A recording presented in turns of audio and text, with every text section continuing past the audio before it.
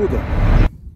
Но лето, ах, лето. Да, какое у нас сегодня? Подожди, сегодня у нас 16 марта. Сегодня приехал, прилетел, точнее, Серега Цымбаленко. Я его встретил с утреца. Короче, всем привет. Начнем с этого. Какая цель этого видео? Я даже не хочу с собой брать там стадикамы, стойки. Вот просто пишу на телефон и все.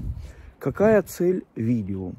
Хотим сделать как бы такой своего рода арчери, биатлон. Но мы не будем бежать, а что мы сделали? Вот я на данный момент, на мне где-то как минимум 10 килограмм мой рюкзачок за спиной. Здесь у меня все необходимое для жизни и для выживания, то есть для того, чтобы провести сутки, один день, точнее даже не сутки, один день.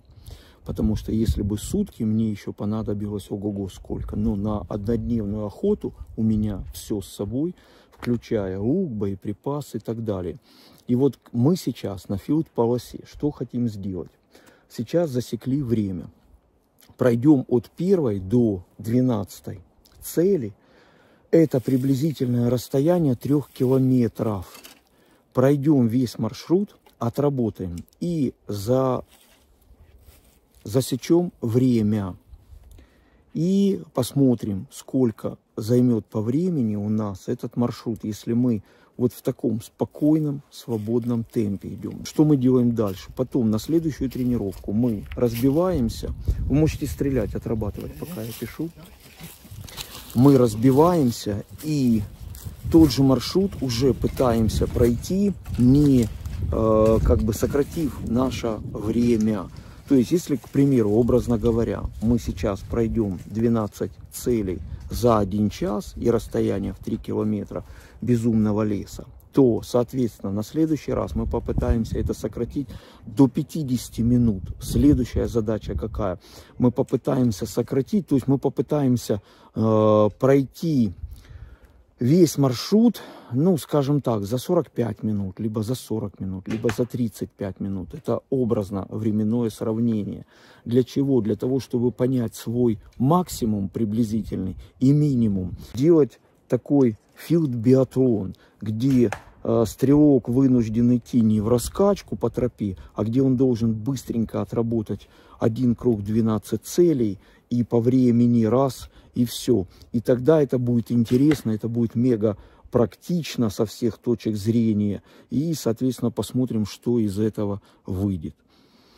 Погнали. Это кажется, что вот эта дистанция 20 метров, но перепад вот такой, и что эта дистанция как бы, то что там 20 метров? Нифига подобного. На этой дистанции, это очень, одна из самых сложных дистанций. Почему? Потому что мы на ней привыкаем не обращать внимания на руку, и так как на 50 метрах или на 45. Да? И ты думаешь, да прости, сейчас я сделаю лук-то классный, настройка классная, все классное, а ничего не прощает. Точно так же. 5 часов, никаких вообще... Стрела идет ровно, все. Но наша, вот если сейчас на видео понаблюдать за мной, я уверен, что я опустил лук быстрее, чем я это делаю обычно.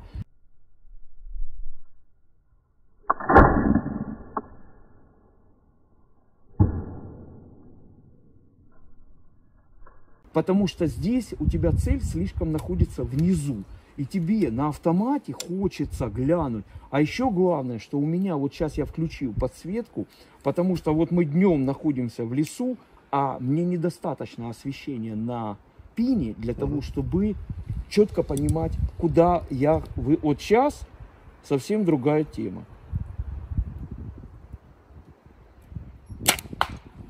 И посмотри... Как... На месте. Да, и, и желтая зона. Рука осталась на месте. Да, и желтая зона, совершенно верно. Так, я все подряд не снимаю. Это у нас уже мы на третий. Идем достаточно быстро. У нас здесь 30, 25 и 20. Пошил вот такой карманчик, реально зачетный. Потому что когда идешь вот в таком, в дичайшем лесу, и тебе навстречу может выскочить случайно динозавр, вот, или снежный человек, мамонт. например. Мамонт, мамонт, да. У нас же была охота на мамонта. О, я вам еще покажу одну идейку. Мы еще турнирчик один проведем. Так, у меня здесь тридцаточка.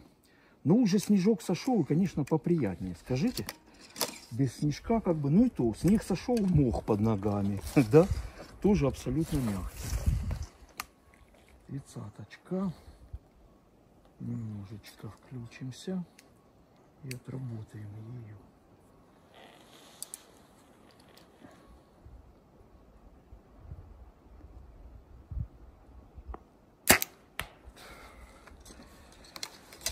Блин, как же ж рука не привыкает к тому, что у тебя уклон и перепад там 5 метров вниз идет.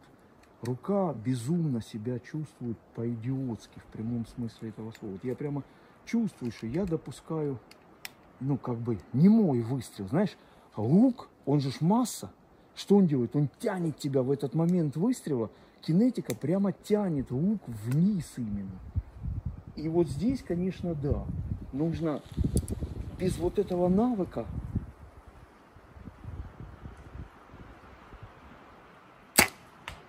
Вот группа вообще, посмотри, какая Рука формируется. А? Рука на месте. Да, но э, угол выцеливания неправильный. Рука на месте. Технический выстрел, ну, группа показывает, сделан идеально. А э, выцеливание, плюс, смотри, сегодня тепло, плечи стали уже в другая температура, понял? И вот у меня уже тридцатка по тридцатке приходит вниз, и я уже вынужден дать 31. Почему? Потому что мы стреляли, и я пристреливал лук, когда был минус, а сейчас у нас угу. э, серьезный плюс, как бы. И вот этот момент и нужно учитывать. То есть мы приходим, и мы по ходу сразу же все определяем для себя. И вот это четко, вот третий идеально, потому что я на первом понимаю, на втором, и третий идеальный центр желтой зоны. Парни пошли. У них тридцаточка, а у меня 45. И вот смотрится эти 45. Вот видите белый щит. Сейчас я вам вот так. И вот я отвожу, в ноль вывожу вот эта дистанция в нуле. Знаете, что прикол? Я сейчас стою, а подо мной журчит именно вода. Я надеюсь, вам слышно. То есть вот весь прикол этой провинции, этого острова заключается в том, что вы все время идете, и под вами вода. Как бы такое впечатление, что Александр стреляет стреляет вверх. Как бы такое впечатление, что он с подгорки пытается взять мишень. А если я сейчас отойду на свою точку, то у меня будет все с точностью до наоборот. Вот смотрите, что я сделал сейчас, поскольку температура поменялась, а я не хочу не нарушать никаких настроечек у себя. Я хочу, чтобы у меня 45 было как 45 я на планочке, по планочке, у меня было вот оно положение, меточка. Я взял немножечко, приблизил к себе планку, вот, о положении скопа. И сейчас посмотрю по результату. То есть, если стрела выйдет в свой горизонт, значит, я таким образом вышел, как говорится, в свой чистый ноль по горизонту. И все, это как бы самое быстрое. Почему? Потому что у нас нет возможности менять сейчас шкалу. У нас все как бы не пристрелено. То есть мы приехали, у нас сейчас, по идее, еще, как говорится, чуть ли не зима, а у нас погода как летом, что называется. И как выйти из этой ситуации? Вот пытаюсь таким образом. И теперь сейчас посмотрю, куда придет моя стрела.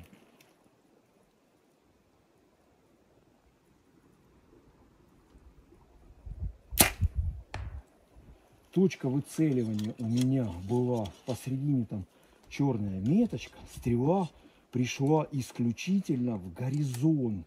То есть таким образом я понимаю, что да, я для себя исправил эту ситуацию. А, вы всегда можете таким образом исправлять ситуацию. Немножко чувствуете, идет а, стрела вверх, наоборот, взяли на одно деление, а, отодвинули скоп от себя – чувствуете наоборот, скоб приходит вниз. Не пытайтесь сразу же крутить здесь что-то. Просто поиграйте с планочкой за счет вперед, то есть на себя или от себя. И сделайте группу, поймите, что получилось.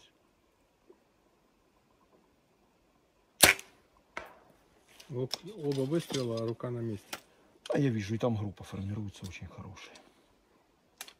Для 45 метров просто, просто мне нравится такой результат. И мне нравится, как отрабатывает этот лук вот во всем.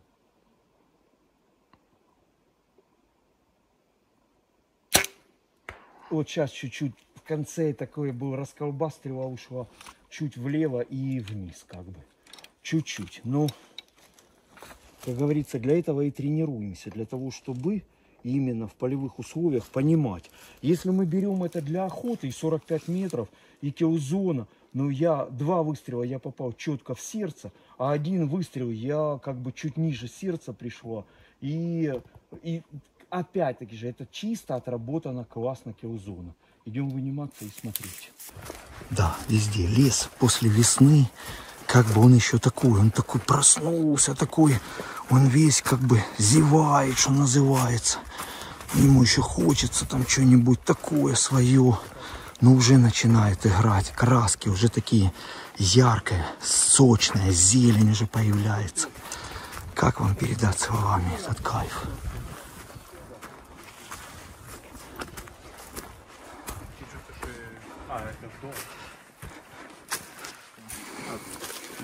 Вот, видишь, смотри, моя точка выцеливания, видишь?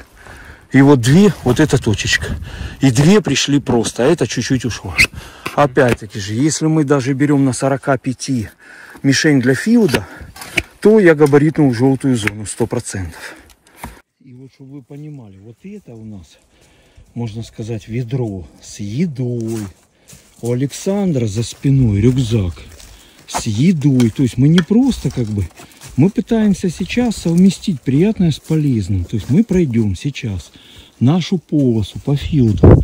А дальше мы углубимся в лес километров на несколько и пойдем подкормим немножечко местных жителей. И поэтому мы с пустыми руками в лесу мы не ходим.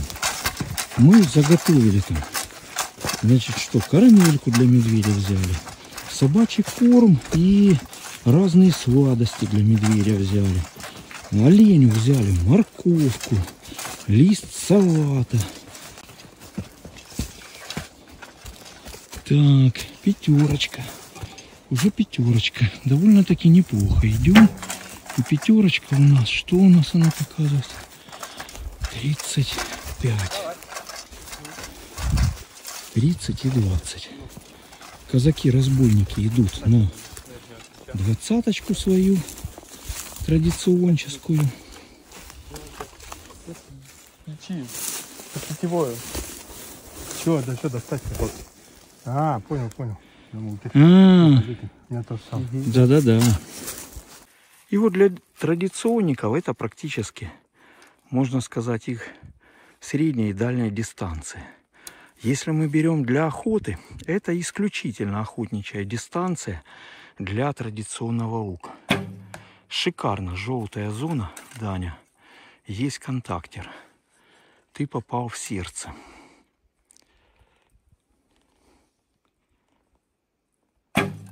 Чуть вниз ушла, но не потерял. Если он, да, опустил руку раньше времени.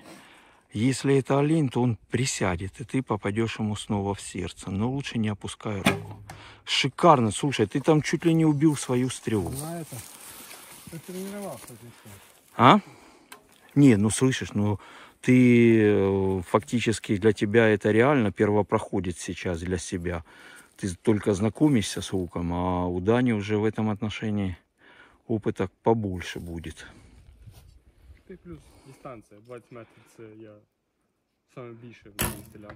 А, увидишь, как стрела летит, такая, раз, раз, раз, это спуск, это пальцы, это именно спуск. І достаточно это, легких плеч. И легкие плечи, да, да.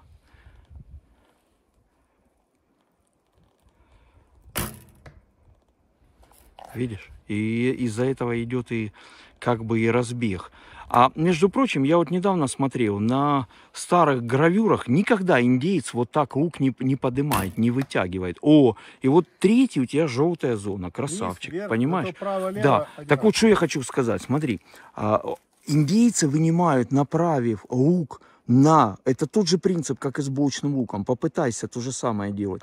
Не машешь перед ним луком, а ты вот представь, у тебя, ты сейчас увидел зверя, у тебя традиционничек, ты уже крадешься, у тебя уже стрела, и ты раз вытягиваешь без подымания лука, Ну да, без это- забрасывания, понял? Иначе он видит эту руку. Конечно, иначе он ее будет видеть. Солнце светит прямо в глаз. Вот такие вот дела. Так, 35. Ставлю исключительно на 35. Ух, солнце, слушай, какое оно. А жарит. Ты слышишь, как солнце жарит? Кошмарота какая-то. 35.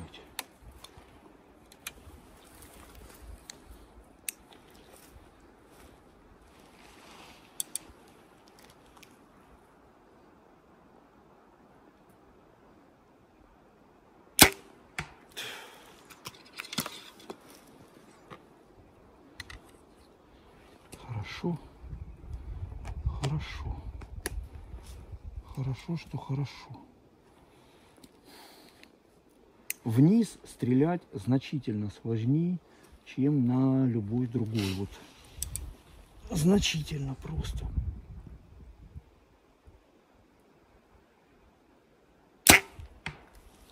Там же группу формирую, все хорошо, туда же, но работать надо именно над выстрелом, когда ты стреляешь сверху вниз, нужно очень упорно работать. Я прямо чувствую, как у меня нарушается моя техника.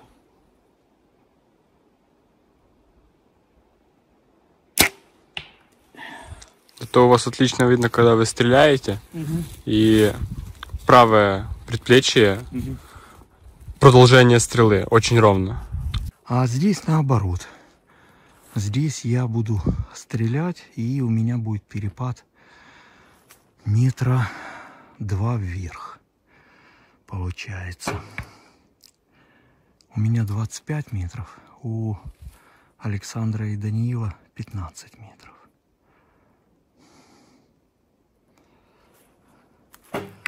Очень зачетный камуфляжик. Видите, как он? Он просто сливается с окружающей средой. Я очень люблю этот камуфляжик на луке. Такая расцветочка. Модненькая, классненькая. Именно канадский вариант. Видите, вот дерево рядом и расцветка лука.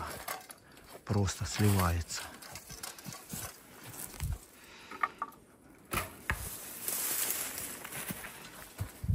О, у вас там хороший результатик.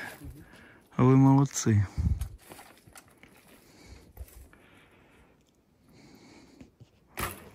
Александра Бер не настроенный, поэтому он решил сегодня с традицией пройтись. А бырчик надо полностью, он старенький, его надо перенастроить. И вот видишь, 15 просто хорошо себя ведет. Ну, да, Чим менше, тим конечно. Тем для традиции как бы приятней. Тем проще.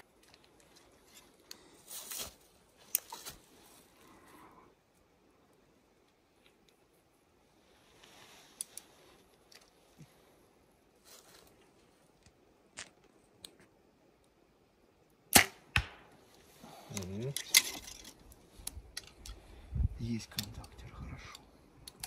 Не, вверх, мне кажется, немножко все-таки легче стрелять, чем когда мы стреляем вниз.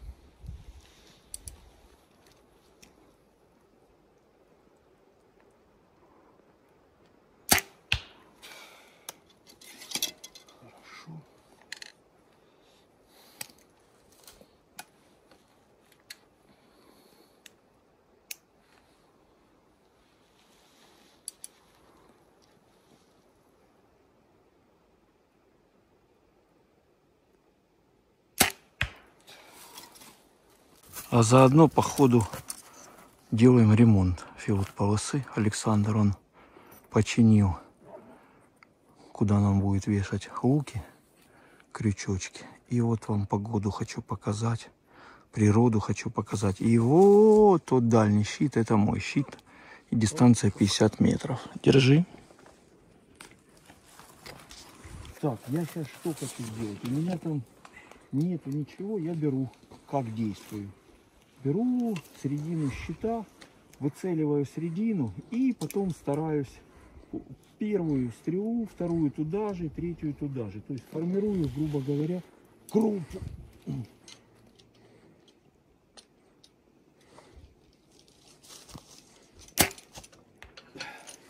Видимость очень зачетная. Очень классно сейчас выцеливать было удобно, комфортно, никаких вообще проблем нет. Хорошо.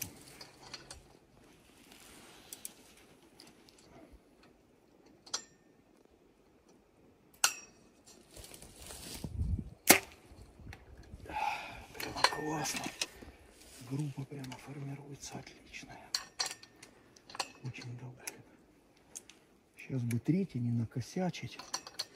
И будет то, что надо.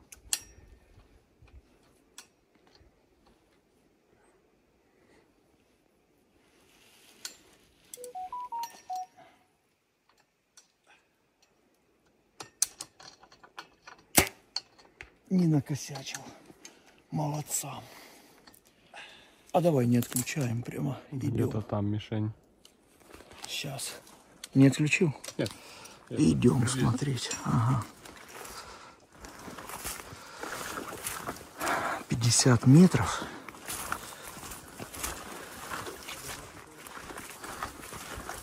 А вниз, вот вниз я уже спустился, и щит исчез у нас. И сейчас я буду опять вверх подниматься. Вот. И опять вниз, и опять вверх. Но это полтинничек. И вот смотрим. Моя отработанная группка. Видно, да? Интервал. Вот это Александра. Ой, Александра, это у нас Даниила. Отработанная группка. И вот это моя отработанная группка. Интервал 2 и 3 сантиметра. Ну, то есть, грубо говоря, все в желтой зоне. Вообще, даже не желтая зона, а все десятка. Три в десятке. Да? Да. Сто процентов. Вынимай. Мгм. Поставил два пальца, чтобы было понятно. А, ну, видно. Да. Мгм. Тоже. Не, этот щит как по маслу. Ты что, это удовольствие. И вот мы сейчас в гору будем подниматься. А, за- ага, закинь. О, вот эти прищепки э, в это оставь здесь, пожалуйста. Две или три. Ну, на следующий щит перенесем еще несколько. И у нас Александр вверху сейчас, там заканчивается. Стало. Мне хочется вам показывать эту природу, потому что, ну серьезно, это именно та красота. Вот Илюша здесь вот такой лишайничек, посмотрите, а? Как это, как это красиво. Везде, везде мух.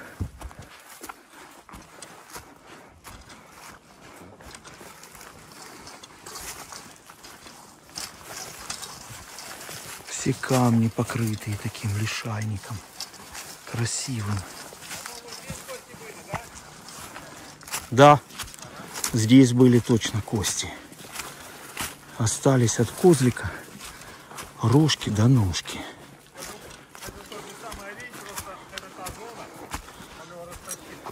Он его растащил, да. Потому что это... Но это не медведь, это койот баловался может даже не один. Угу. Вот и все. И теперь у нас восьмая зона. Порядок. Порядок. Идем дальше. Go. Молодца.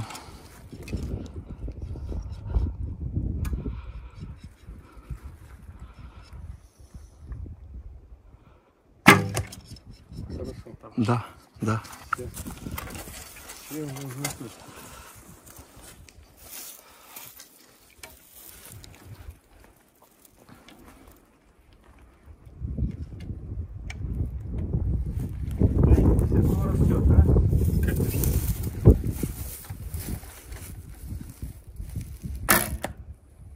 Хорошо.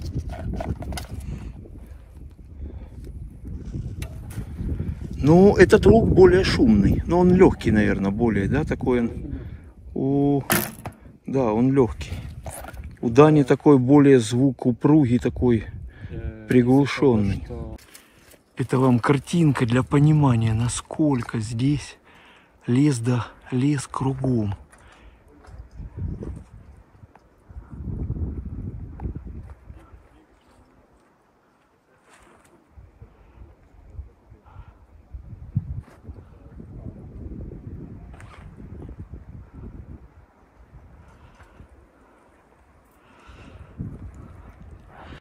Итак, крайний, двенадцатый щит.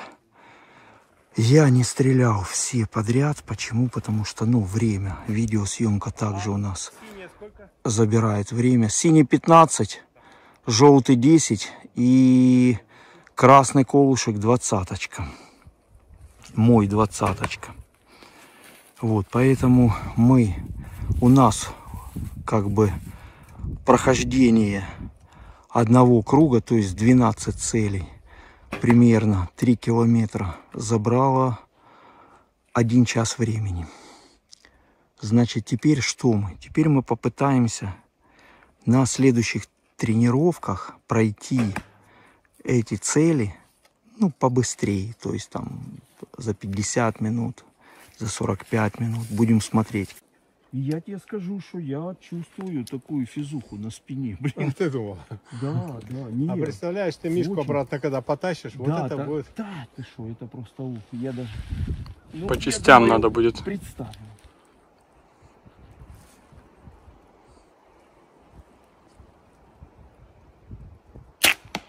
Хорошо. И вот все, мы прошли. Смотрите, у меня, значит, здесь у меня лучок, он висит вот таким образом. Сзади у меня рюкзачок. Руки свободные, это самое главное. Почему? Потому что мы сейчас направляемся к себе, на свой звериный клондайк. Мы прикормим наших, так сказать, лесных питомцев и заодно проведем разведку, посмотрим, проверим фотоловушечки и посмотрим, что у нас и как. Походу немножко вам буду снимать дорогу, ну и разговаривать с вами, хотя я, честно сказать, я сейчас не люблю во время своих, так сказать, лесных расходок особо болтовней заниматься. Все-таки больше хочется наблюдать за природой. Особенно в такие денечки, как сегодня у нас. Ситка – это нереальный зачет в любую погоду. Вот сегодня жарко, на мне два слоя. Мне вот сказать, что комфортно, это ничего не передать словами. Мне мега комфортно. Все, все втроем мы идем в резиновых сапожках, потому что здесь по-другому нельзя. И вот почему мы все должны быть обязательно в сапожках. Вот почему. Потому что по-другому здесь, ну никак, вы поймите нас правильно. Но на самом деле вот это, это самая лучшая защита от туриста, от собачника. Почему? Потому что, ну, собачник, он вряд ли едет в резиновых сапогах. Поэтому, соответственно, он... Да, да, нормально. И это только начало нашей охотничьей тропы. Точнее, мы еще даже на нее не пришли. Это, так сказать, мы прошли первый предзонечек. И здесь уже все. Здесь заканчиваются у нас следы собак. Здесь мы еще видим след от квадроцикла, но один квадроцикл гонял здесь. И все. А так в целом, в основном, уже все туристы разворачиваются и идут куда-нибудь, где побезопасней. В лесу никогда не говори сильно громко. Мы громко говорим только в том случае, если мы хотим наоборот. То есть мы туристы, и нам надо не нарваться на медведя. А мы как бы наоборот. Мы идем так, чтобы если на нас зверь вышел, то это будет хорошо.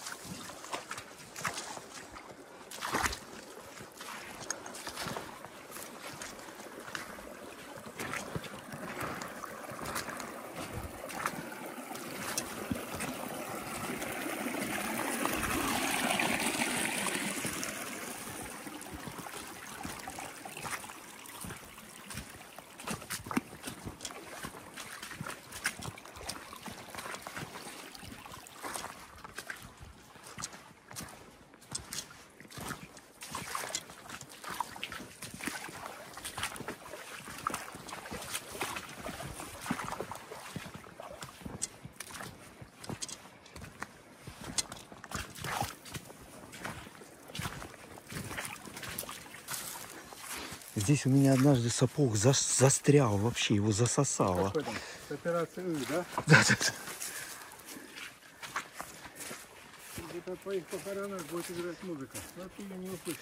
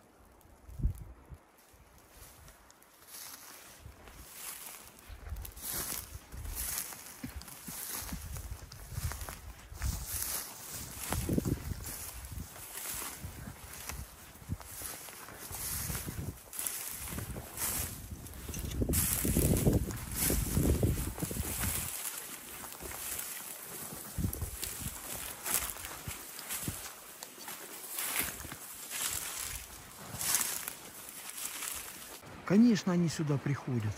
Слушай, ну ты посмотри, какое течение какое, ты посмотри.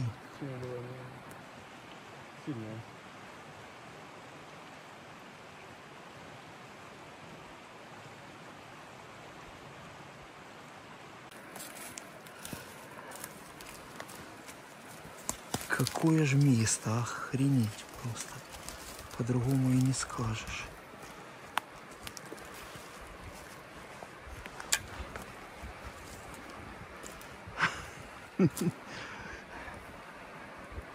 Слышишь? можно Но это мы зашли в дичь, в дичь именно, да? Да, так я не думал, что здесь такое прямо течение, прямо такая река. Тут бобров, кстати, может быть, твоих любимых. Вот, это хорошая будет штука. Ну вон, посмотри, вот, видишь, вот Ну, такое вот. Хатки могут здесь быть, да. Могут ничего делать вообще. Ну вот, Да, место мы нашли очень любопытное. Во всех отношениях.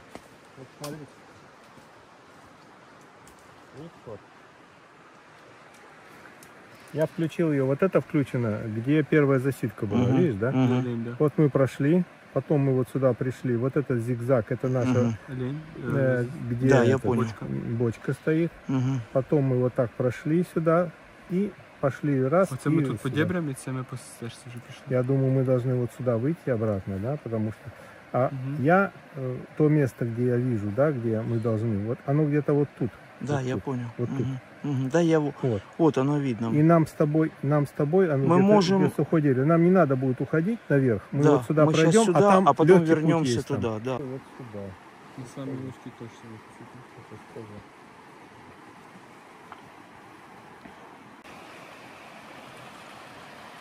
Да, это сейчас весенний паводок. Уже снег сходит. И здесь, конечно, вода просто идеально прозрачная. Ну, але глибина така десь по груди. Да, глубина приличная. Но там течение, ты посмотри, какое там течение. На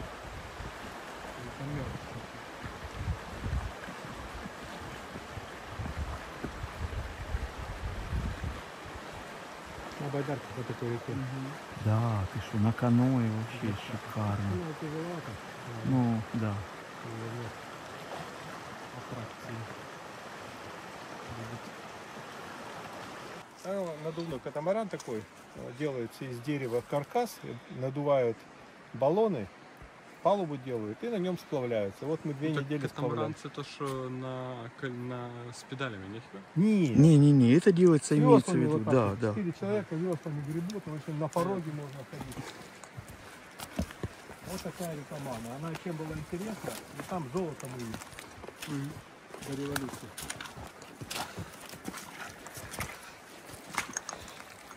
Старели ходили на байдарках. И в Алмате очень много я панчили ходил, раз 20 наверное.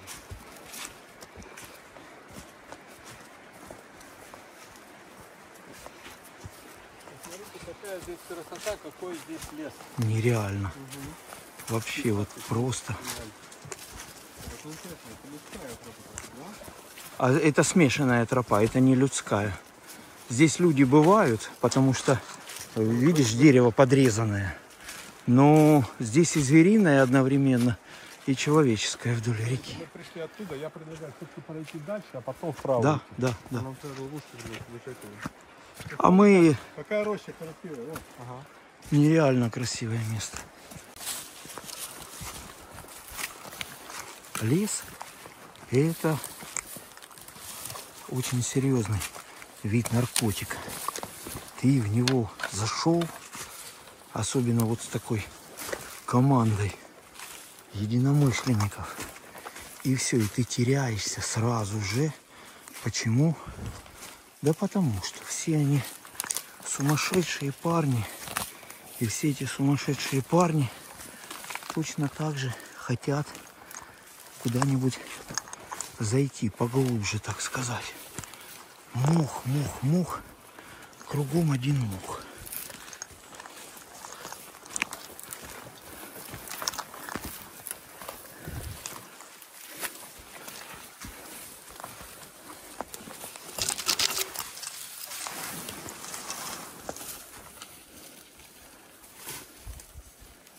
Слушай, а вот в этом месте надо по-внимательному. Очень медвежатинское место. Очень сильно медвежье место.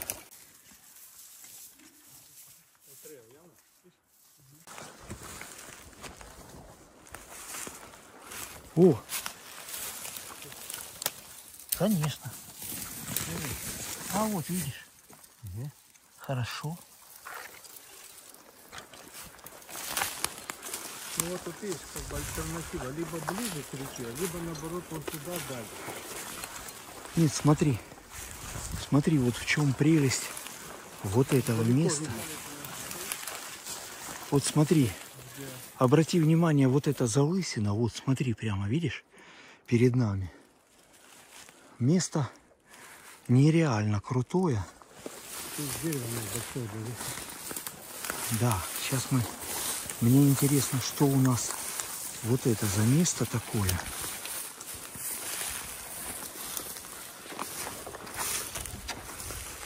Ага, стоять. Аккуратненько там. Не-не-не-не-не. Ты не уходил по пояс здесь? Аккуратненько. Не, сюда. Давай вернемся, вот пойдем чуть выше.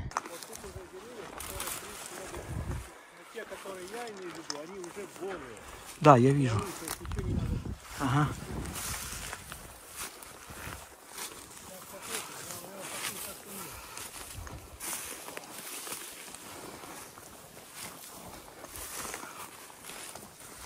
А, ну это мы на болото вышли. Это именно болото.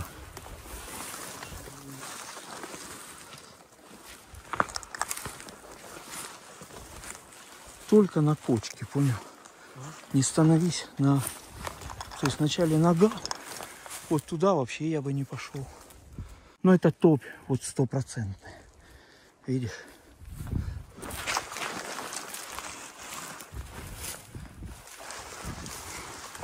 Александр, тебя случайно не Иван зовут? По фамилии Сусанин.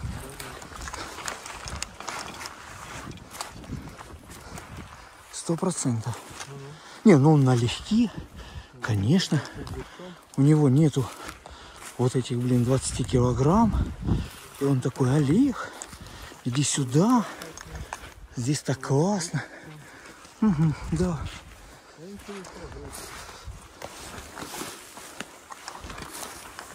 Так, куда тебя теперь понесло? Господин Сусанин. Слушай.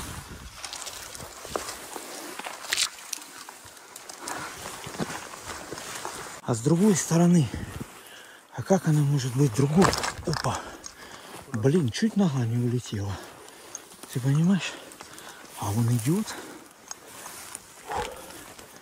Хорошо. Блин, под ноги смотри. Тут, как это говорят у нас, черт ногу сломает. О, шли, шли. Вот так будет с каждым, кто плохо себя ведет. Да.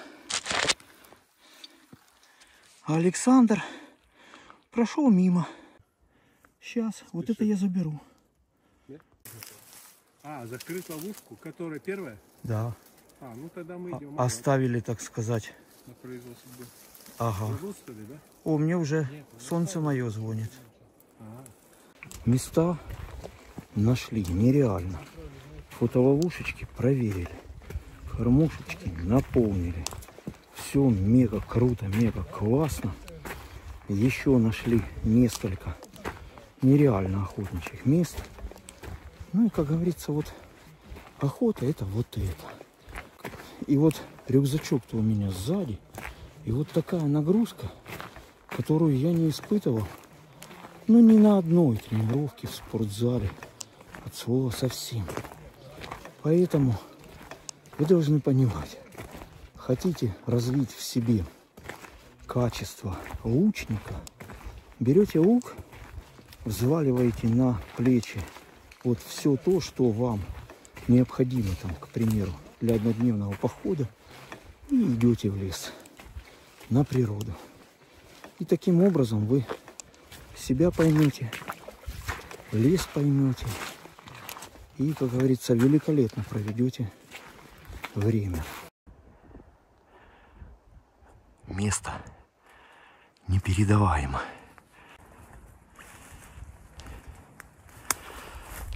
А мы продолжаем свой путь дальше. Ну, опять-таки же, подготовка. Ну, как сказал Александр Порошов, 99,9 десятых процента успеха в это зависит целиком и полностью от подготовки. Что мы делаем?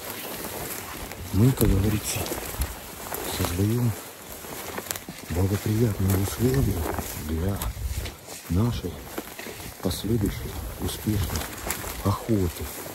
Вот в этом отличие бухгалтера от охотника-туриста. Потому что мы в первую очередь мы не рассчитываем никогда ни на собак, мы не рассчитываем никогда на, как говорится, на чью-то помощь. Мы в первую очередь стараемся все организовать и спланировать самостоятельно. И для того, чтобы в день охоты он у нас прошел более успешно. Вот здесь аккуратно, тут очень глубоко. Подождите, отключаюсь. Неблагоприятные условия ни для съемки, ни для нашего, так сказать, фильма. А приходится идти и вам показывать это все снимать.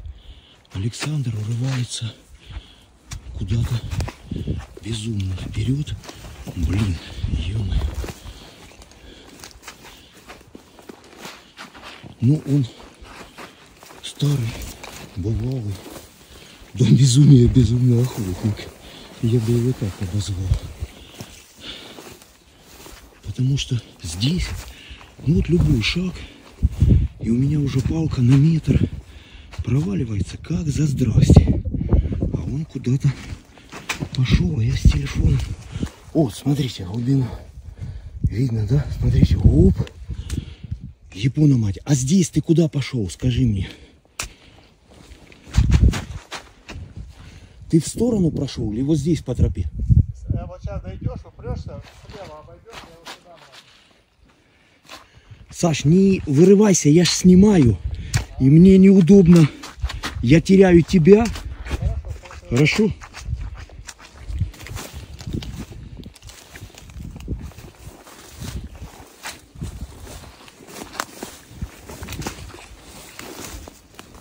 Вот дойдешь, упрешься и влево возьми, обойди куст. Не где справа зеленая, а где слева. Да. Да, я увидел. А справа пойдешь. У Япона вообще, посмотрите. Посмотрите, видите, да? Мое копье. Можно матюкнуться в этой части моего фильма.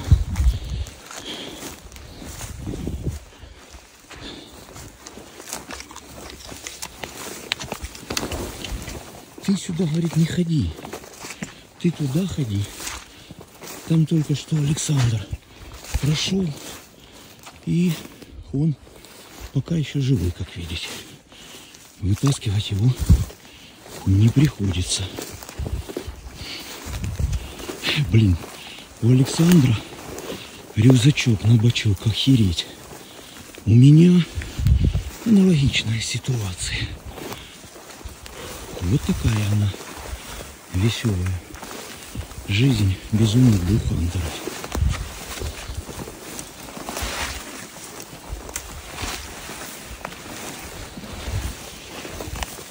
Молодого мы сегодня даже брать не стали, потому что тут хоть бы самим пробраться, а взять человека, который ни разу не был в таких условиях, ну, это ответственность большая. Смотри, можно дальше не идти. Место очень Я крутое. ходил, я ходил вон туда, тут лес. Ага. Но вверх не поднимался. Я дошел до подножия. Мгм. Уже в лес зашел. Большая площадка. А, Хорошая Троп довольно много. Но деревья все молодые, Деревьев молодые. нету, и нету места для засидки только на той совсем. стороне. Поэтому Там, где мы вдоль реки вот эту Вдоль тропу нашли. реки место железобетонное, перспективное. Пройдемся там и будем смотреть, где олень выходит на водопой, где медведь идет себе рыбку половить и так далее, да? Давай сейчас зачекинимся по карте, глянем. А у меня же пишет все равно. А у тебя вообще классно. Просто у нас самые ближние точки, это либо там, где мы, это твой, где-то к пенечку выходил, Ага. помнишь? Ага. Идем вот, где мы вчера выходили, вот мы, где э, череп повесили оленей. Да. Вот где-то с того момента. Да, давай.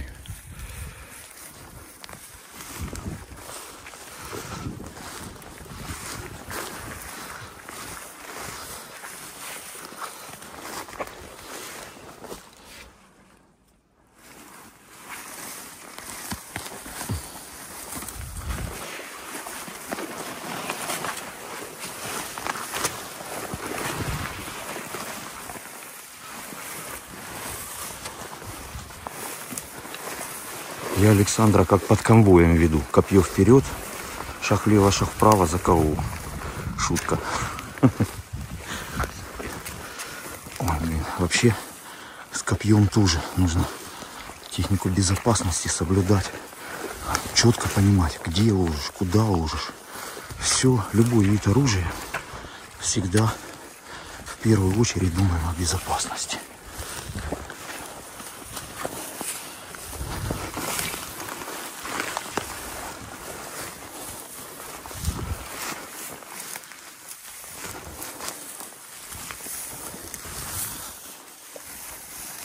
Слышь, а может вверх, верхом здесь обойдем, не?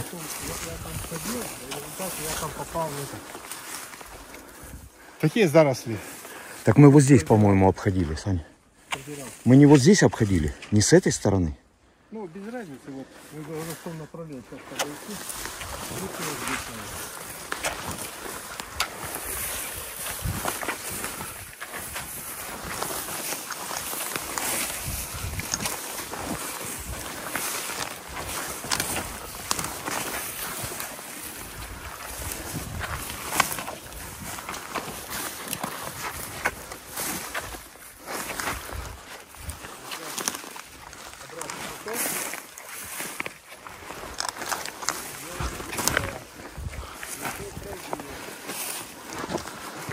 Мне пришлось влево. И мы сейчас с тобой так же тоже будем вынуждены идти влево.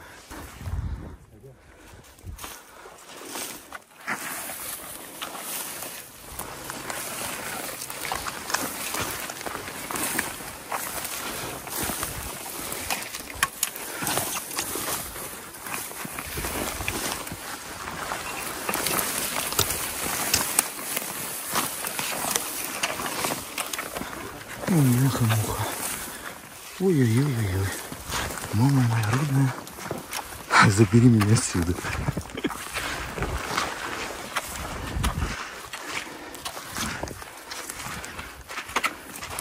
Организовывал я когда-то такой экстрим-лагерь для своих учеников. И он был на берегу Азовского моря. И получается, были все группы. И взрослые, и дети. И вот мы... Детям было настолько сложно, что я видел, они психологически подавлены. И я им говорю, ну все, пишите родителям записки и будем, они будут решать, как с вами быть. Ну, мы, естественно, у нас с родителями была договоренность о том, что ну, они должны пройти эту, так сказать, школу мужества. И эти записки, они в большей степени были для нас, как для тренеров, ну и так далее. То есть мы очень заботливо относились к своим ученикам. И вот они пишут. Мама дорогая, любимая, родненькая, забери меня, пожалуйста, отсюда. Здесь все хорошо. Мне все очень нравится. Нас очень хорошо кормят. И так далее и тому подобное. Но у нас под нашим домиком живет большая змея. А по ночам сюда прилетают бабочки-вампиры, которые могут высосать жизнь даже у быков. Но мы читали, это, конечно, было смешно, да не могу.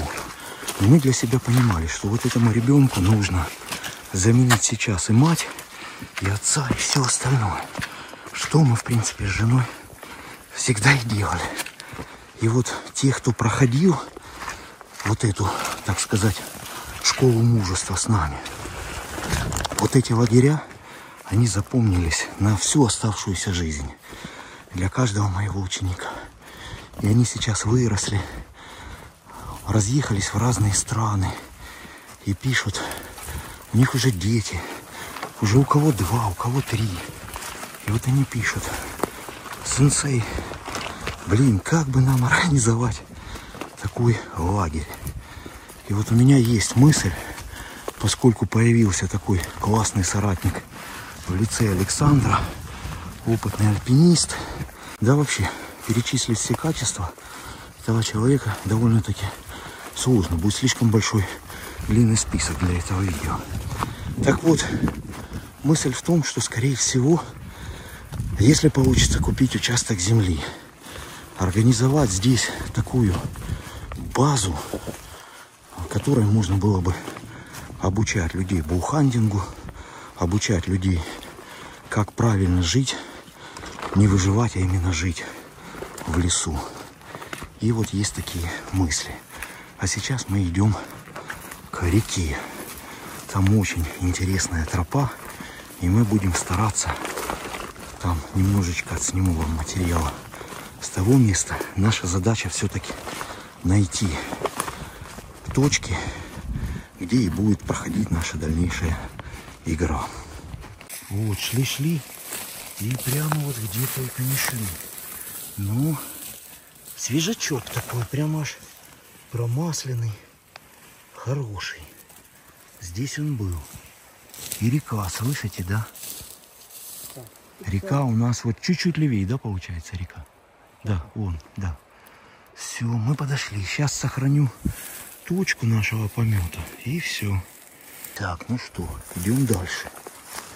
Так, Александр у нас, как всегда, вырывается вперед. А я за счет того, что сам себе режиссер. Ой, посмотрите, какая красота. Красотинская. А мне приходится еще записывать фильм для вас, чтобы вам было интересно сидеть на диванчике, налили себе чаек, кофеек и такие смотрите двух, так сказать, безумных боухантеров. О, о, да, и здесь у нас, что говоришь? Тропа? Да, тропа, конечно. Это ты прямиком. И вон она пошла, смотри. Как она интересна, понял? И это сто процентов это не человеческое. Водопойные Да, да, да. Идем. А где могут быть? Здесь вот белка. Видно, что жрал. А вот здесь. А ну-ка, ну-ка, ну-ка. Александр у нас очень часто торопится. И надо всегда. Задержались. Огляделись. И идете дальше. О, как же здесь beautiful. Ну, это нереально круто. Это нереально круто. Знаешь, что прикольно? Мы именно в этом месте вчера э, сошли с линии, да. Да, мы сейчас переходим, как раз вот я именно от этого места и хотел пойти вверх. Это очень интересное место. Я бы сказал, одно из лучших в этой округе.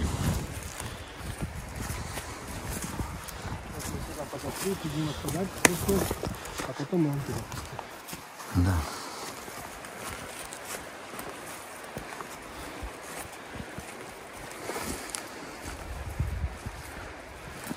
Рыбалка заинтересовала. Да я тебе говорю, Надо здесь понять, как здесь ловят рыбу.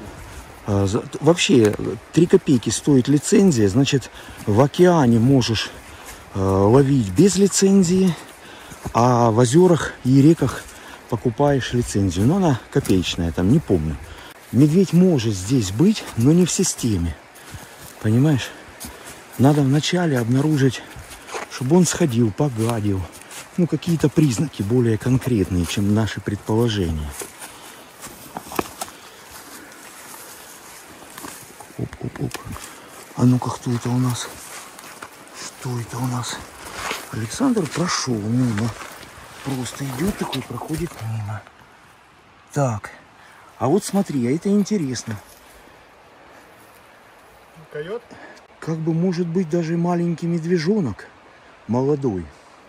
Может быть, понимаешь? Потому что у койота немножко другой помет. Это уже ближе к медвежьему. Но маленький, молоденький, понял?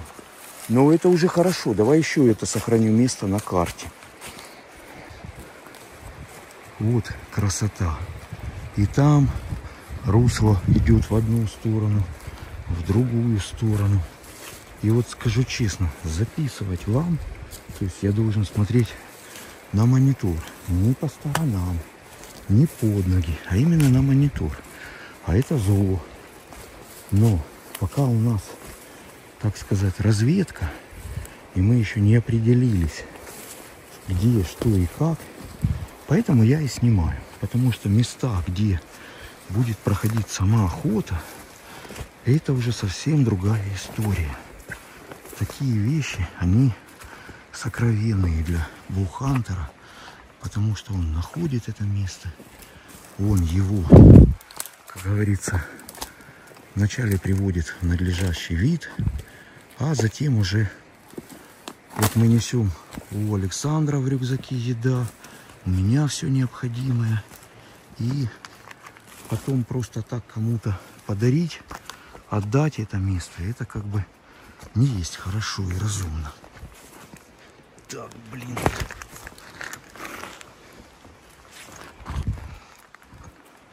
Одежда от компании Ситка. Нереально удобная, комфортная, бесшумная.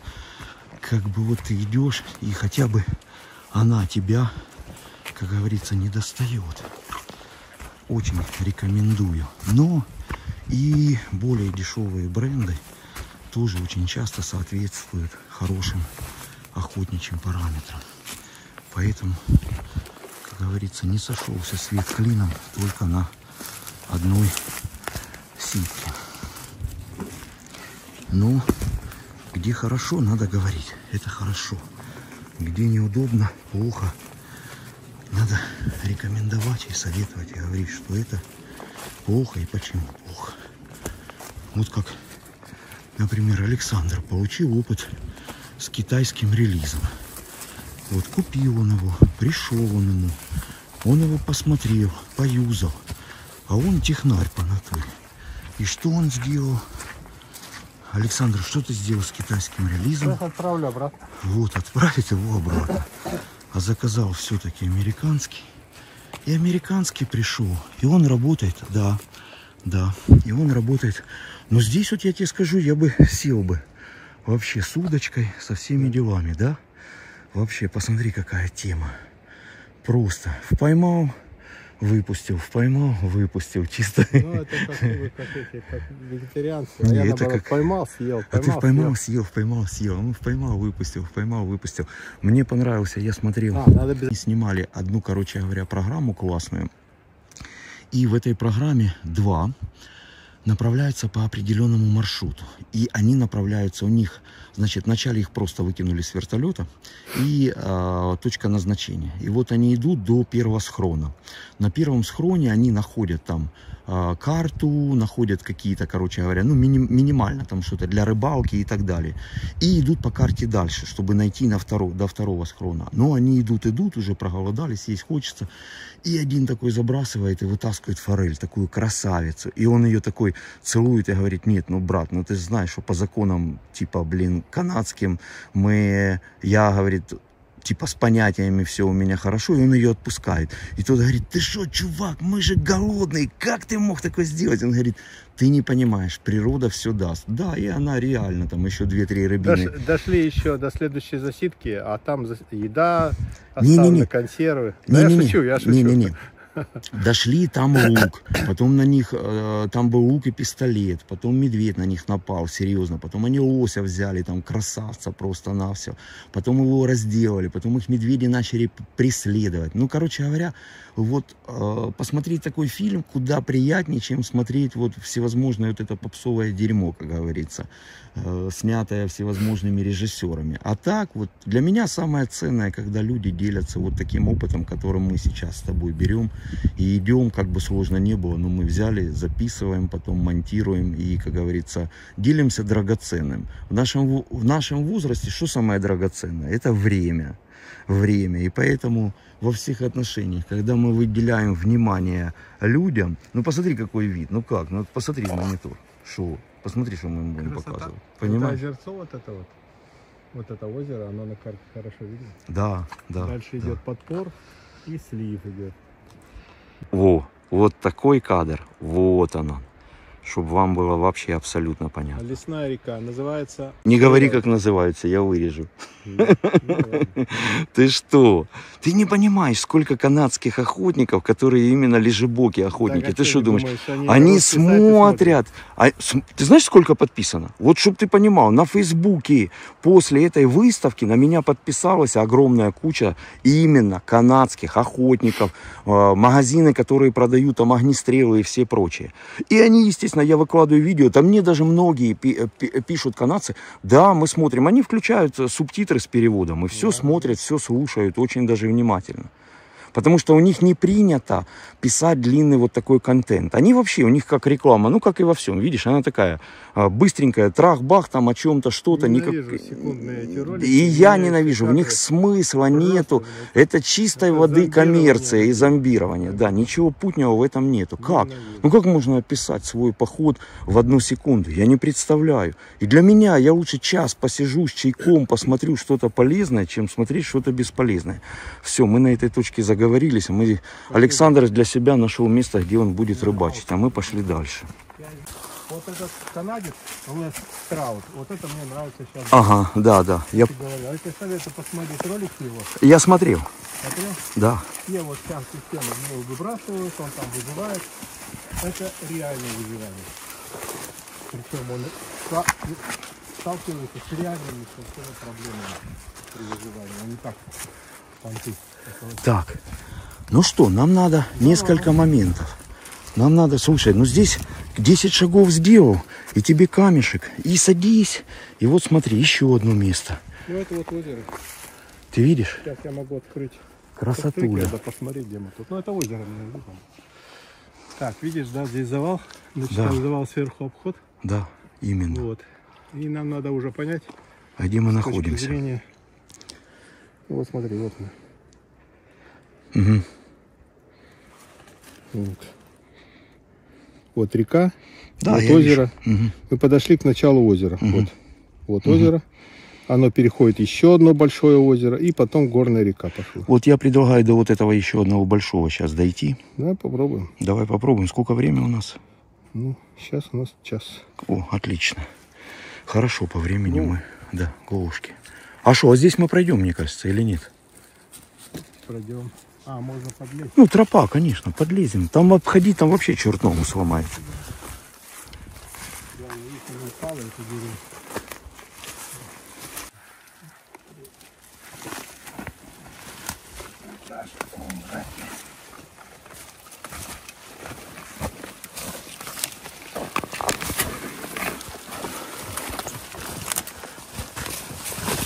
Аккуратнее, боже мой, Александр. Там что, ветка? Конечно. Да. Ветка, блин.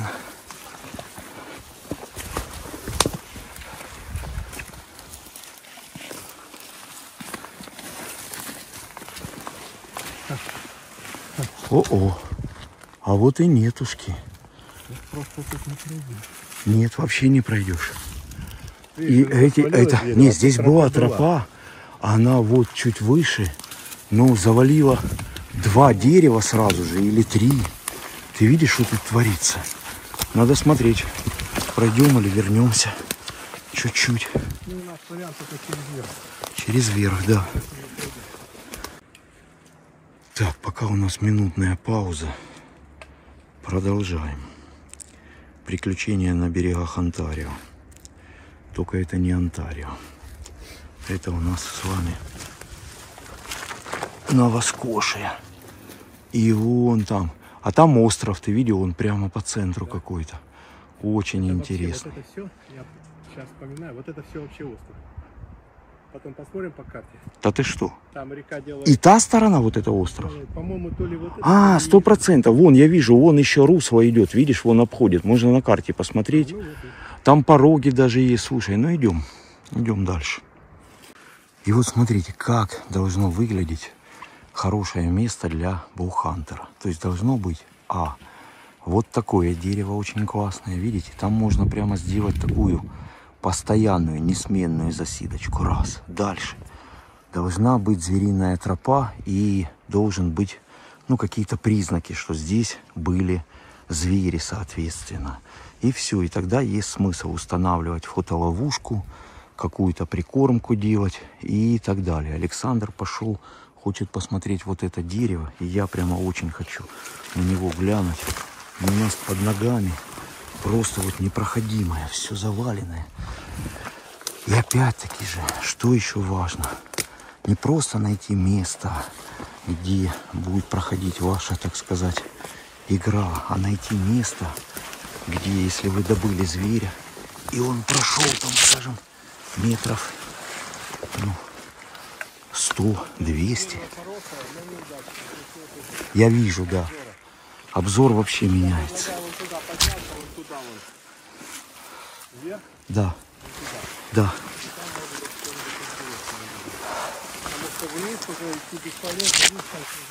Да, я вижу, там именно конкретные заросли. Да, дерево очень классное, но обзор нету хорошего места для выстрела. Я понял твои мысли. А он сюда вряд ли.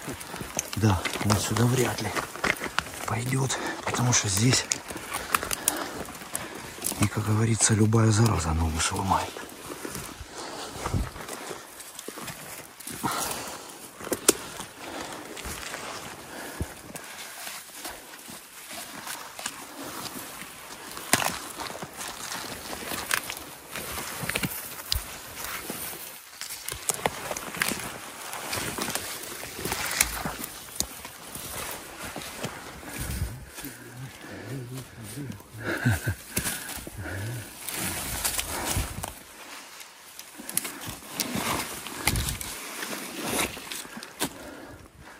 Так, стоп. Слышь, мы какая-то Винни-Пухи, блин. Шли-шли и, за... и нормально, пришли. Давай я ветку оттяну. Слишком много ест. Да.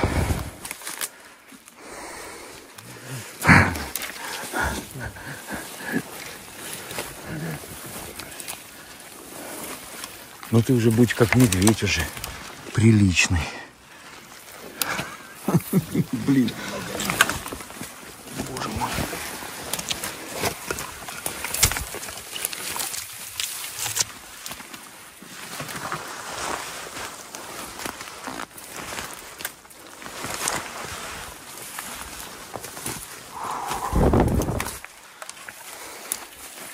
И мы уже часа три таком режиме, в исключительном режиме. А рюкзаки-то весят, и все остальное как бы в таком режиме. А? Да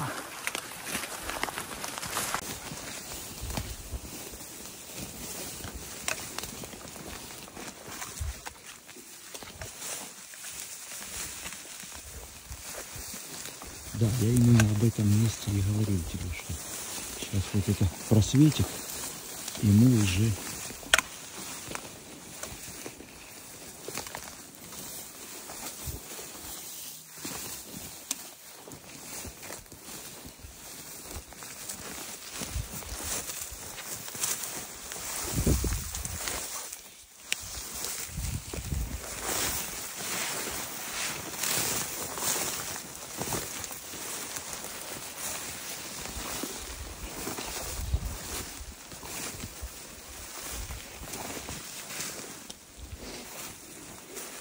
И вот, прямо тропа, вот, вот, вот. Вижу, вижу. Я, Вот, вот и туда. видишь, Угу. она идет. Ну, давай вот Там вода, прямо конкретно вода.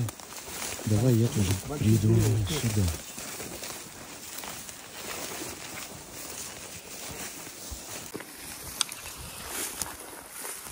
Кожаная тропа, видишь? Хоженая, хоженая, да. Хоженая тропа, конечно. Причем это молоденькая, видишь, такое вообще маленькое, свеженько. свеженькое.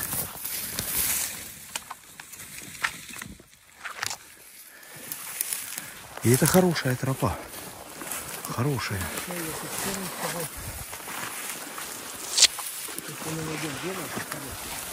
Да вот я смотрю, Александр, смотри. Вот, видишь, вот, смотри, гряда деревьев. Вот, раз, два, три. Прямо такие неплохие. Я предлагаю, смотри, вот подниматься вот наверх, на бугор. Ага, да, давай. Мы Ну, мы сейчас идем прямо по оленей тропе. Видишь, это чисто оленья тропа, больше никто здесь не ходил. Вот здесь он валялся, тух, видишь? Вот все полностью, вся сухая тропа полностью примятая. Вот, вот здесь человек. Конечно, конечно. Да, да, сто процентов. Да. Конечно, вот он. Во. И это уже более крупный такой.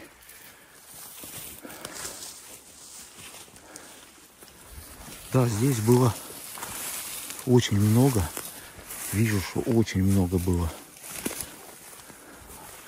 рогатых. А вот это уже, я бы обратил внимание на вот это, видишь, вот. Смотри, оно немножко на горе. Видишь, ветки, если почистить, Почистить, да, с него можно Да, уже обзор будет. да. Либо вот это. либо вот это. Давай подойдем поближе. Слушай, ну это, это интересно. Вот мне интересно, вот, смотри. Вот с той стороны, вон, видишь, обход. Я просто смотрю, видишь, это рискованно может свалиться дерево. А может, Это может свалиться. А, ну, а вот здесь нет. прям медвежатня, я бы так сказал. Такое поваленное сейчас.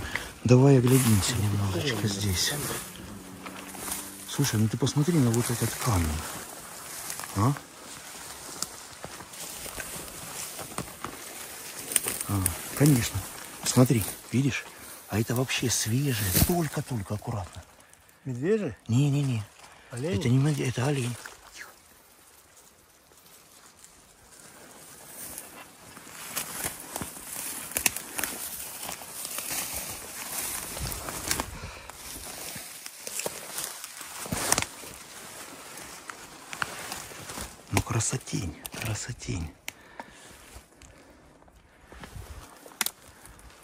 Представляешь, идешь такой в дорогу, раз и ушел.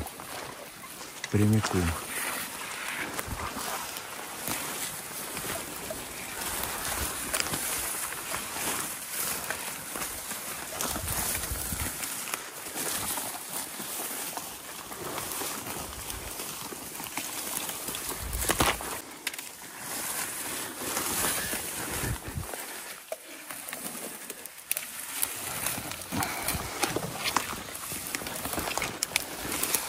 Ты видел, у тебя нога стала рядом, а там дыра, там даже интересно, если бы нога в нее вошла, то насколько? А, не, норма, не. А, нора, нора уходит. Да.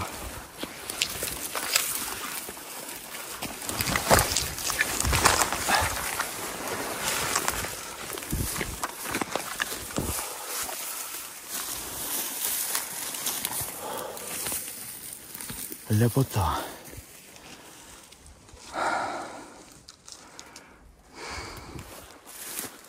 Ну, находились мы сегодня прямо от вольного, что называется. Ну и для ясности и наглядности, конечно, покажу. Вот смотрите, мы нашли еще одно место, но исключительно оленятина. Вот она идет тропа. Она вон пошла, пошла, пошла, пошла. И вот туда идет тропа. Здесь он проходил. У нас с одной стороны нужно еще, то есть он идет когда на водопой.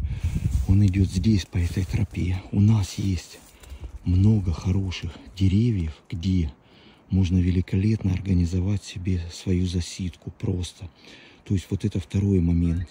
Если я померяю сейчас расстояние, то, ну, будет, да, далековато немножко, но олень же не стоит прямо вот именно возле этой точки. Поэтому радиус от 20 до 30 метров от своей засидки мы отмечаем приблизительно. И рядом должна быть тропа. Вон у нас Александр сел на камешек, а я пришел, чтобы здесь, как говорится, завершить цель нашего сегодняшнего похода. Ну что, миссия выполнена на сегодня. Погода отличная. Погода шикарная. Мы нашли еще одно место великолепно. Установили фотоловушечку, насыпали яблочек зачетных. Таких прямо аромат пошел по всем местам. Давай это, так сказать, итожим. Советы начинающему бухантеру от старого охотника. Причем безбашенного. Я тебя буду называть безбашенный охотник. Почему без башни? Ну, потому что ты прешь, блин. Вот я реально, я осторожнее, конечно. Я иду, не, ну я смотрю, когда ты идешь, я думаю, мама рот, я же тебе показывал, вот просто копье нахрен, все уходит. Да нет. не, я понимаю, что сноровка, да, у нас это все как бы, ну, знаешь, я привык тоже, как и ты, ходить сам по лесу, а сам идешь вообще, ну, как бы, э, рассчитывать-то не на кого больше, только на самого себя, правильно? Да, я в основном, я не один же сезон провел. А ты знаешь, что- на- я не на помню. охоте одиночку. Да. И так, не- на день уходил, а на три, на пять дней уходил. А вот скажи мне, вот смотри, а, ты же охотился в Монреале, правильно? Где ты еще охотился? В Квебеке. В охотился. Монреале, в Соскочеване, и э, ну, под Вашингтоном. Скажи мне, ну да, ты и с Саней Курашовым успел Да, да, поохотиться там я уже. Да, Там да. добыл. Скажи мне, вот что для тебя нового в Новоскошии? Вот за этот период, пока мы с тобой вот ходим, что ты можешь для себя, что какие выводы, вот что у тебя получилось такое, что новое, что Ну, интересно? Первое, природа совсем другая. То есть здесь другого типа лес, и он совершенно не тронутый. Вот, допустим, э, в Квебеке такого нет. Ты куда бы ты ни сунулся, ты проходишь там 100 метров прошел, раз фермерское какое-нибудь хозяйство, раз Мгм. какая-нибудь засидка, раз это чье-нибудь. Мгм. В, под Вашингтоном, где у Курашова охотились, ну там совсем, это просто охота на э, участках всяких разных людей, которые Да, да, да, да. Но я же, Это я же, другое. ну отличается, согласись. Абсолютно. Американская охота от канадской Абсолютно. охоты очень отличается. Там, конечно, это, это там когда, оленей больше. да, конечно, потому что там их подкармливают, там, Не-не, там не знают, что с ними делать. Я вот даже историю знаю, когда ага, они заплатили 5 миллионов долларов, наняли охотников, они стреляли с снотворным, вывозили, там каждый олень обходился где-то в 5-7 тысяч долларов вывоз. Как только их вывезли, другие олени, хоп, пришли, заняли это место. Всё, Они Слышишь? эту радость бросили. а черного медведя, по-моему, в штате Вирджиния, я стада черного медведя, то есть я насчитал там 30-40 особей идут просто, вот ты можешь себе вообще А представить? все далеко ходить. Вот дорога Монреаль, э, Нью-Йорк. Буквально выезжаешь там по хайвею. Я ни раз, ни два видел сбоку пасутся черные медведи. Ну, Да, пасутся. но там, там другая Пасутся. песня, что часто около а, жилья людей животные есть. А как ты вот сюда заходишь, они абсолютно меняют свой стиль да, поведения. да, Поэтому мы вот да. здесь ходим. Я здесь всю зиму хожу. Я почти каждый день хожу по лесу. Там Да, да. да. Куча следов видел, куча помета. Я ни разу не видел ни одного оленя, ни разу. Хотя я и медленно, и быстро ходил, и сидел тихонечко. Ни одного не видел. Не, А вот на участке у меня, у детей, пожалуйста, вот на бэкяст они выходят. Да. Потому что они знают, что там их никто не Да, застрелит. да. Не, ну здесь же есть такое два типа оленей. Городской олень, его так и называют, городской олень. То есть он потерял страх. И лесной. Не, мне доводилось. Мне доводилось, причем здесь есть места такие, где я только приехал, только десантировался, выхожу, буквально не сделаю еще и 200 метров, на меня выходит олень. Сам выходит, Городской. понимаешь?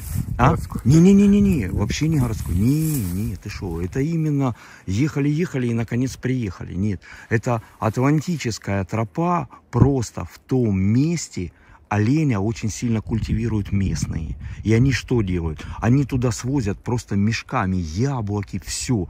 Там его реально, там вот ты, вот мы хоть сейчас приедем, зайдем, и ты э, в течение часа увидишь как минимум 5-6 оленей.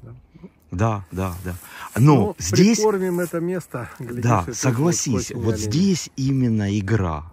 Вот здесь именно. Почему? Потому что мы идем, мы сами протаптываем дорогу. Здесь редко, ну вообще нам ни разу не попадался встречный прохожий там и так далее. Вот уже на этих Дикое местах, да. Дикая природа. И поэтому здесь как бы все в руках боухантера. То есть сам прикормил, сам все сделал, сам себе организовал. Как говорится, сам себе режиссер своей охоты. И все, и подготовительный процесс, вот у нас сейчас март месяц, мы уже все, как говорится, в процессе. Для чего? Потому что в мае месяце, и то у нас на оленя только откроется охота когда? В, в августе месяце, по-моему. Конец августа, Конец августа, сентября. сентября, да. Но прикармливать зверя, понимать, где, лучше заранее. Вот и все. Поэтому у нас с собой луков нету, мы сегодня сейчас не брали с собой, а мы набрали. если, если олень нападет, мы Да, добьемся. Да, да. Не, ножички, мачете, копья, это все есть, но это такой, как говорится, на всякий случай, вспомогательный. Точно так же, как и от медведя есть у нас ракетница. Бабахалка. Ну, пошли. Да, все. Поэтому самое главное, что подготовка, подготовка, еще раз подготовка. Ну что, буду итожить, так сказать. Сегодня отличный день, который мы великолепно провели.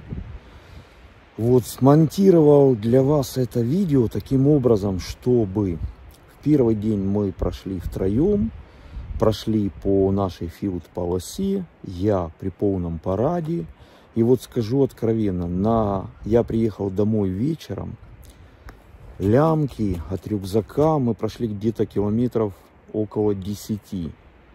Лямки просто впились в плечи. И как бы уже усталость была такая, что вот реально понадобился массажер для плеча. Поэтому вот любой наш навык в спортзале, он, он нужен, безусловно. То есть я не, я не отговариваю вас от спорта. Безусловно, как говорится, в здоровом теле здоровый дух. Это однозначно. Подготовка классная. Но я говорю к тому, чтобы вы не думали, что этого достаточно. То есть только когда вы взвалили на себя все то, что необходимо вам для охоты, однодневной или двухдневной, и, и прошлись. Сегодня у нас фотоловушку поставили. Значит, что, на что еще хочу обратить внимание охотников. Особенно тех охотников, которые именно там с охоты переключились на боухантинг. Боухантинг абсолютно другой тип охоты. У вас нет собаки с собой, у вас нет огнестрела с собой, вы должны максимально войти в контакт, максимально близкий контакт со зверем. И, соответственно, вот эти привычки идут по лесу. Захотелось пописать, вы раз стали, пометили территорию. И вы идете. Это все можно делать только в начале вашего пути. Если вы помочились где-нибудь возле кормушечки, если вы помочились где-то возле фотоловушечки, то забудьте о том, что туда придет зверь. Вы должны это учитывать всегда. Так же само, как посторонние запахи, так же само, как все. То есть вы должны себя вести возле кормушки, а соответственно это место, где у вас стоит фотоловушка, вы должны себя вести как зверь. Вы должны мыслить как зверь. Тогда, я думаю, ваша охота будет очень интересной и увлекательной. А так, надеюсь, что этот небольшой приключенческий фильм, хотя, честно говоря, это не небольшой, в любом случае будет там часа, может и больше. Но кому не интересно, не включайте. Я стараюсь делиться, я стараюсь даже не то, что вам суть какую-то выдавать. Я хочу, чтобы вы через мой фильм прочувствовали, прочувствовали эту атмосферу. Вот это моя цель. А так, всем пока.